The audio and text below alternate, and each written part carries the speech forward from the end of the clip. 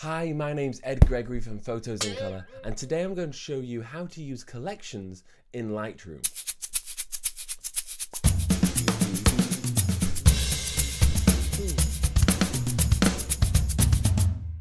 So in this tutorial, I'm going to go through how to work with collections in Lightroom.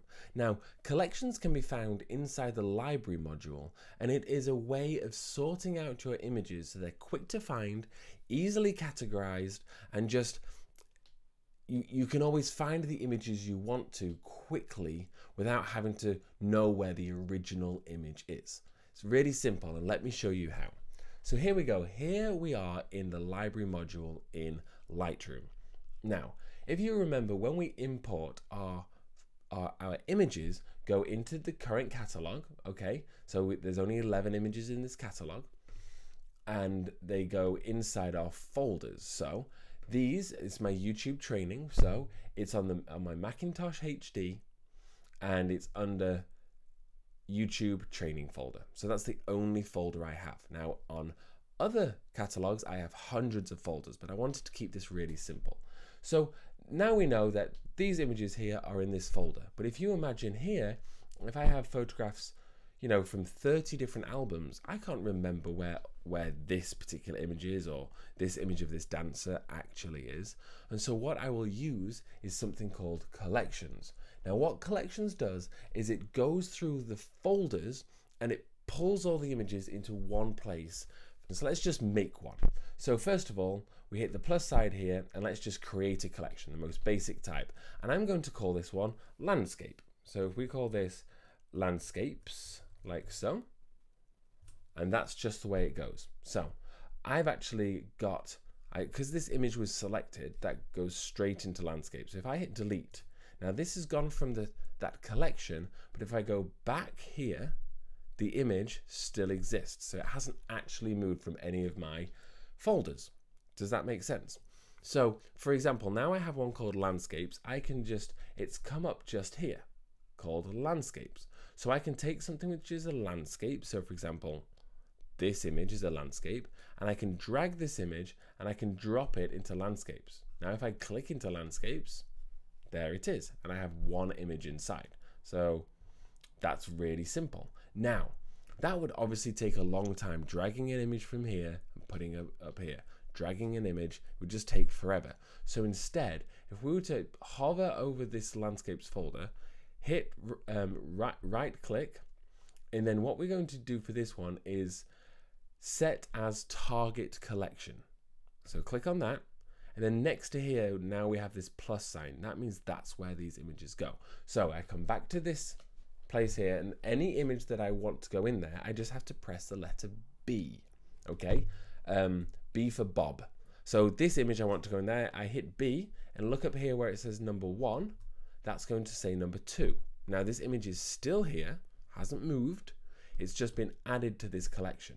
Now, importantly, Lightroom isn't duplicating these images. You're not wasting hard drives. It just has a tiny little file somewhere in its system that remembers all of these images. So you're not creating more images at all, which means these photos can go into as many different collections as you want without creating more space.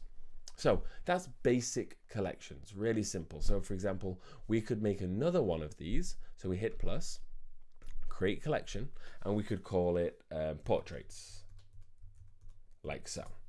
So now we have two different ones, okay? We have one for landscapes and one for portraits. So if we come up here, we'll set the portraits one now, and we'll set as target collection. Come back up here, and portraits, this one can be a portrait, so hit B, it'll go into portraits, and now this one will be a portrait too. Now, in my folder, all of these images are now still here. I have my portraits and my landscapes all here. So, but if I go to my collections, landscapes has only landscapes and portraits have only portraits. Extremely powerful. Now, you can imagine this could get into a huge list of different things very quickly. So how do we get around that? Well, what we do is we create a um, collection set. So if we were to call this, say, portfolio, because this could be my portfolio, for example, We'll call it portfolio. Click on this. And now what we see is we have a collection set at the top called portfolio. Now, if I was to take landscapes and drag it and put it into portfolio, and portraits and drag it and put it into portfolio, I can now close this and you can see it's going to keep things very organized. It's like a file management system. And I can go in and then I've got my landscapes and my portraits and the portraits has a plus, which means that's my target collection if I ever press the, le the, the letter B. Really, really powerful. Now, that's not where this ends. This keeps on going. It's so incredibly powerful. The next thing I'm going to show you, the final thing I'm going to show you here, is you hit plus, and then you can create a smart collection. Now, what a smart collection does is rather than you having to go through and select this image and this image and this image and press B each time for it to go, what this can do is as you start using different ways of star rating your images or adding colors to your images, or you might want different sizes of images or images from certain dates, you just have to make one rule Okay, that's what it's called. And then all that happens is it searches all your images and makes that collection. It's that simple. So, for example, let's go in here. We're going to create a, a collection set. Um, we're going to create this smart collection inside Portfolio. And we're going to call this five, um, five stars. Nice and simple. So match all. So that's all images in this catalog. If we look here, rating is what I'm going to select. That's my star rating. So I can have one stars, two stars, all the way up to five stars. This is only going to collect images with five stars. Now, other things I can do is if there's a pick, so that's using the P button, puts a little flag on the image to say it's been picked. You can make one of all of those things. You can go for your um, text color or your label text. Like so many different things you can select. Source, so where is this image stored? The type of file, so is it a um, DNG file or a JPEG file or something like this. The date that it was taken, so you might want to find all the images from a holiday. Put in your holiday dates and it'll bring all the images in. Really is amazing. So for example, match all rules, a star rating that is greater than, greater or equal to five stars. Really simple. So let's, now I could actually create more. So I could add um, an, an, another one here. Okay. And what I would do there is I could add in from a certain date or a certain time. But we're just going to leave this simple. So if I create this now, so that's been created now, there's nothing in there because I have nothing with star ratings. So let's come back to this and let's give this image here a star rating of five. So I hit the number five. Now this image now you can see it says five stars, five star rating. Fantastic.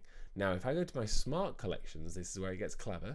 Five stars, click on that, and that image now lives with inside this. However, it hasn't been put anywhere else. However, again, we can now have things in multiple collections. So now maybe this tree, I want this to have a five star rating. Okay, doesn't move from this collection, doesn't move from the Macintosh HD from where it's stored. But if I go back to five stars, you can see these two images are now there. Finally, look at a portrait. Maybe this image, I'm going to give it a four star rating. If I give this one a four star rating, set rating to four, you can see this here. Go to my five stars, and it hasn't appeared. That's because it didn't fit within those parameters. So you can see here that by using this, you can build an amazing, um, you can collect all your images into these different folders without having to replicate or manage it actually on your computer. You can do it all within Lightroom. And this really is hugely powerful. For me, I keep my portfolio and divide everything up very quickly so I can show it to clients, so I can easily find things for printing or anything like that. So that's my video on collections in Lightroom. If you have any questions, please just ask me a question below. I will always respond to you. Um, also, you can hit subscribe. That would be great. Give me a thumbs up to say you liked this video and check back because I've got so much, so many more videos on their way. My name is Ed Gregory from photosincolor.com.